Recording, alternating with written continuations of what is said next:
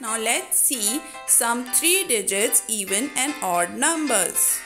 Is the number even or odd? 468.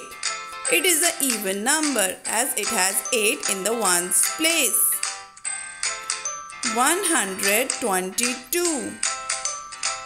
It is an even number as it has 2 in the ones place. 449. It is the odd number as there is 9 in the ones place. 336. It is an even number as it has 6 in the ones place. 757.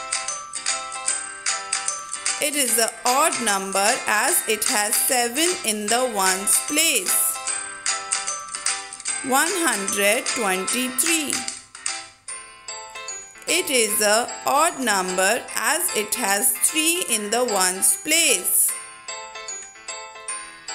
865. It is an odd number as it has 5 in the ones place. 958.